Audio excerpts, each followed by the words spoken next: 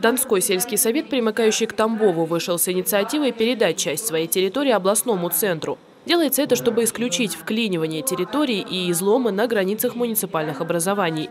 Речь о территории карьера по улице Рылеева и земли вокруг. Донской сельский совет народных депутатов Тамбовской района Тамбовской области предлагает включить в границы муниципального образования городского округа города Тамбова дополнительную территорию карьера по улице Рылеева и гаражно-строительные кооперативы, расположенные вдоль э, карьера.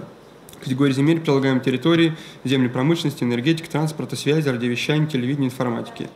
Принятие решения не потребует привлечения дополнительных средств из городского бюджета. Напротив, включение земли в границы Тамбова позволит увеличить поступление налоговых платежей с участков.